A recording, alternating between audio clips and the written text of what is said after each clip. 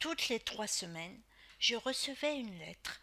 Enzo avait pris soin de choisir à la papeterie avant son départ une série de papiers à lettres avec des papillons.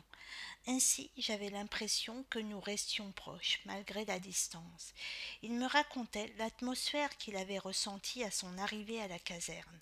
Ce qui me surprenait, c'était l'absence de sourire sur le visage de Louis Ortega. Nous étions sous ses ordres. Notre première journée commença dès cinq heures trente. À peine avais-je enfilé ma tenue réglementaire que le sergent Louis Ortega fit son entrée dans le dortoir. Aussitôt, il nous intima l'ordre de nous tenir au garde à vous, puis de le rejoindre dans la cour. À chacun d'entre nous, il a remis une arme avec un numéro. Je fus rapidement informé de ce qui m'attendait.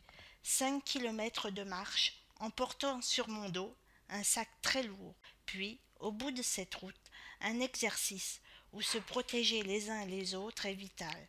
Serais-je à la hauteur des attentes du sergent Louis Ortega